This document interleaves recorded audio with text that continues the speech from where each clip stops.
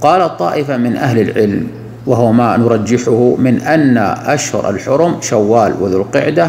وذو الحجة كاملا وهو قول مالك والشافعي وكذلك قول ابن عمر وطائفة من السلف وفيه حديث مرفوع كما قال ابن رجب في لطائف المعارف عند الطبراني لكنه لا يصح